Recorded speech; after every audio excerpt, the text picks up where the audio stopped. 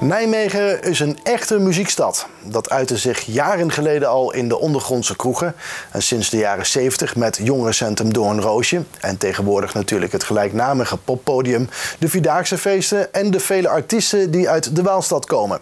In het Huis van de Nijmeegse Geschiedenis is donderdagavond een expositie geopend die je meeneemt langs de Nijmeegse muziekgeschiedenis vanaf de jaren 50. Van de geheime feesten in de wederopbouw via het bekende poppodium door een roosje tot de vierdaagse feesten. De Nijmeegse muziekscene heeft zich door de jaren heen ontwikkeld. Dit erfgoed staat centraal in een nieuwe expositie in het Huis van de Nijmeegse Geschiedenis. Uh, ja, het is een uh, expositie over popmuziek in Nijmegen. En dan vooral uh, ja, muziek van de afgelopen 70 jaar, vanaf 1950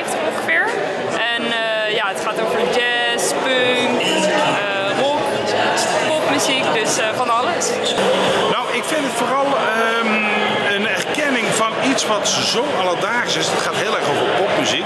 Het is zo alledaags. Ik bedoel, je moet wel onder een steen hebben geleefd om niet van popmuziek iets te kennen of van te houden. Het is zo gewoon dat het eigenlijk ook wel eens mooi is dat we over specifiek de Nijmeegse kant vanaf 1950 nu voor, in mijn beleving voor het eerst eens een keer een overzicht gaan krijgen. Hé, hey, wat is er aan de hand uh, geweest? Welke mooie artiesten waren er en zijn er? Je staat er bijna niet meer stil. En daarom is het juist goed om er wel eens bij stil te staan. De levensliederen van Sineke, Rock van de Staat, Pop van Jeroen van der Boom en de feestmuziek van Benny Solo. Allemaal komen uit Nijmegen. De Nijmeegse muziekgeschiedenis kent dan ook veel genres. Een van de thema's van de expositie. Genre, dus we hebben bij ieder genre drie artiesten uitgekozen die eigenlijk iets hebben betekend in de muziek.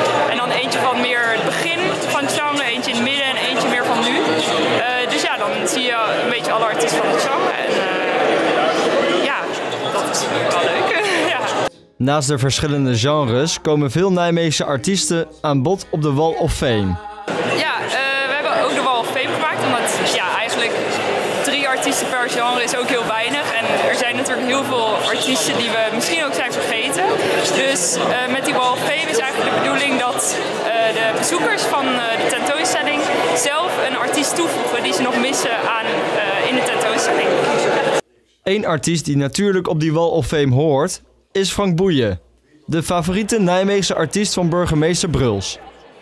Maar ik ben van de generatie, ik ben opgegroeid met Frank Boeien en daar blijf je toch een zwak voor houden. Ik heb al zijn, zijn platen, zelfs ook vinyl en later cd thuis. En ik, ik, draai ook nog regelmatig zijn, zijn muziek. De expositie is tot en met 9 maart gratis te bezoeken in het Huis van de Nijmeegse Geschiedenis op de Maaienburg in het centrum.